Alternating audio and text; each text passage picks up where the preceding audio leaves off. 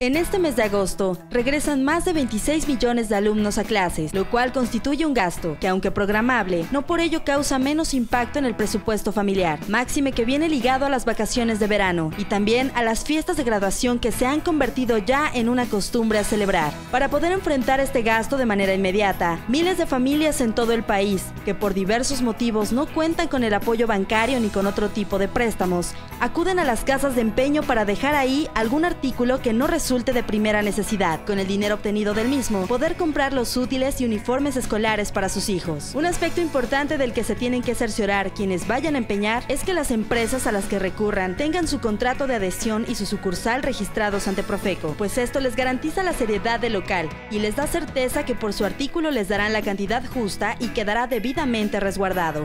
La Asociación Mexicana de Empresas de Servicios Prendarios está constituida por las empresas más formales e institucionales del mercado tenemos altos estándares de cumplimiento de la ley que nos regula y además cumplimos con absolutamente todos los requisitos legales que se requieren.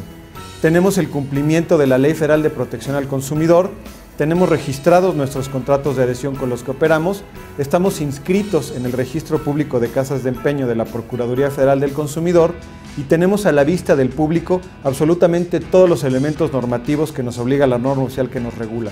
Por lo tanto, la recomendación de AMESPRE es que busquen estos elementos normativos y sobre todo que busquen el sello AMESPRE que significa legalidad y cumplimiento. Muy buenos préstamos y es una casa de empeño muy muy buena.